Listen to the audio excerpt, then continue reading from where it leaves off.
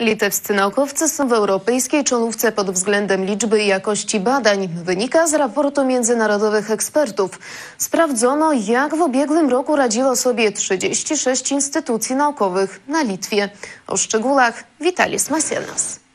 W litewskiej stolicy klimat zdecydowanie sprzyja nauce. Doktor Irena Fedorowicz z Katedry Polonistyki Uniwersytetu Wileńskiego nie ma co do tego żadnych wątpliwości. Wilno daje tutaj ogromne możliwości. Archiwalia, te, te zasoby rękopiśmienne to są po prostu e, niewyczerpane skarbce, e, z których korzystają i naukowcy z Polski. Międzynarodowe grono ekspertów spojrzało na litewską naukę przez pryzmat 36 instytucji. Sprawdzali m.in. jakość prowadzonych badań i działań artystycznych oraz ich wpływ na rozwój gospodarczy kraju. Wyniki, jak podkreślają przedstawiciele litewskiego Ministerstwa Oświaty, Nauki i Sportu, są imponujące.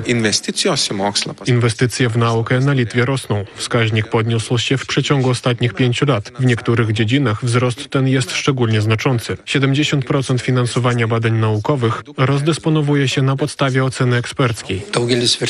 Litewscy naukowcy z powodzeniem uczestniczą w międzynarodowych programach finansowania badań, wygrywają projekty, granty Europejskiej Rady do Spraw Badań Naukowych.